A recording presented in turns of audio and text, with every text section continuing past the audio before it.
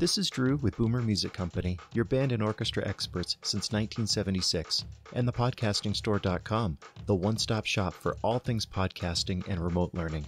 This is your weekend update.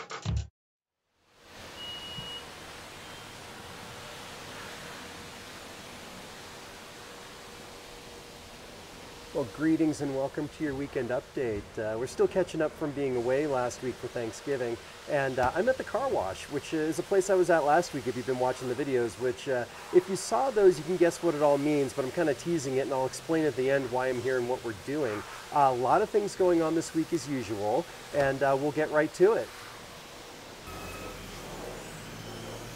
So without burying the lead too badly, uh, this week saw us win uh, Style Magazine's Best of NoCo Best Music Store for 2021. We're super honored to have that uh, award, and it's thanks to all of you, the, the people who support us throughout the year and who voted in that. So thank you so much. It means a lot to us, uh, and uh, we really couldn't do it without you.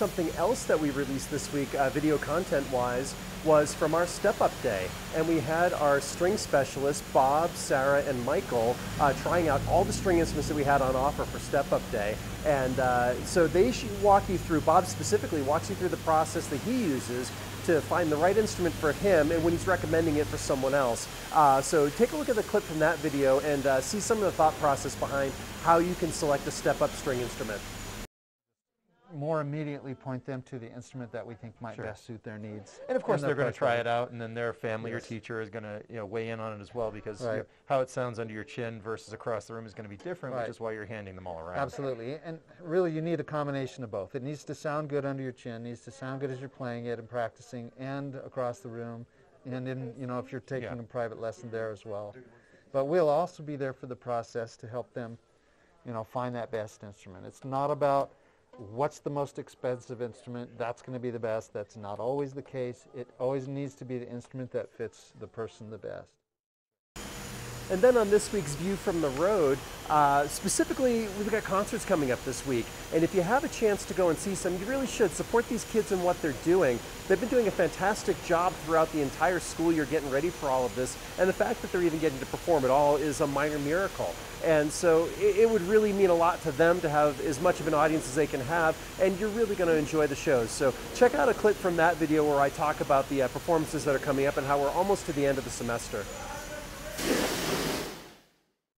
biggest thing that's happening right now is this week is preparation for performances. Next week, most of the schools that I go to have their uh, winter concerts, and the kids have been getting ready for this stuff all semester, and they've been working hard. And I did get a, a sneak peek at some of it, and um, you know, getting to sit on rehearsal before I left, and it's they're doing it.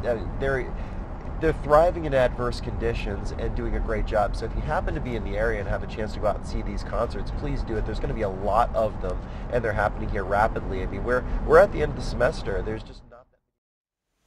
And then I promised to pay off for why we're here at the car wash. Well, this week's essay on the podcasting store I titled The Time That the Trumpet Broke Mid Performance, and that was kind of bearing the lead as well. I was referencing a time that with my first brass quintet, we went and saw the Empire Brass perform in Boston, and uh, lead trumpeter Rolf Smedvig had the water key break off of his trumpet uh, while the performance was going on, and he turned to the crowd and asked if anyone had a trumpet that he could borrow. Well, someone did, and he borrowed it for that performance, and it turned out fine. And what struck me about that was how he was relying on the kindness of strangers to get him through the performance. We had a similar incident happen on our way home from our road trip where Timmy was sick and uh, we got to the hotel expecting to be able to do laundry, and they don't have a laundry facility uh, as expected.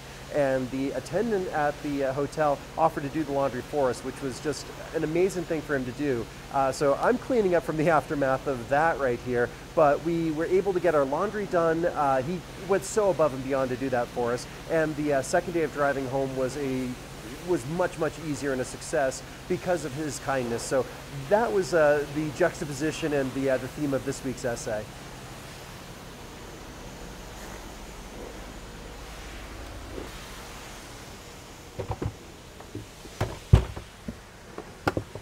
So that's your weekend update. As always, thank you so much for watching and for your support, and we will see you at the store.